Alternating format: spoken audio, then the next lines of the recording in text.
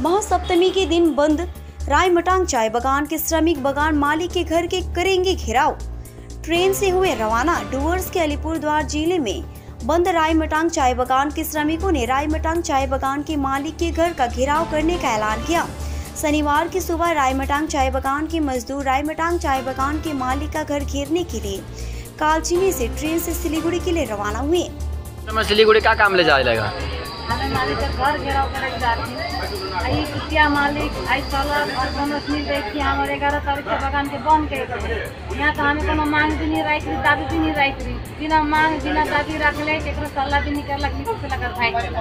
भाई कर कारण भी तो हवी की का कारण से भाग हमें तो के बोनस बीस परसेंट नहीं मांग रही तीस परसेंट नहीं मांग रही कि कलर कलर भी नहीं मांग रही, कोनो भी नहीं कह रही, लेकिन भाई कर बजे भी कहवी आई जुगो भाई की तेल गेलक आज कितना भाई गेलक आज कितना लेबर कर हाई लगे। आज हमारे बेटा बेटी कितना होता है भूखे प्यास में हमें आज दर दर भटकर भी कमाई के लगी। आज जो भाई की एक जगह रही, हमारे सुख शांति हराम के दे उठे। दिन कर हैं ना, रात कर नींद हराम के दे, हर एक जगह जाके बैठी। आज हमें सब लेबर वर्कर मिल के जाती मालिक घर जरब करे लगे।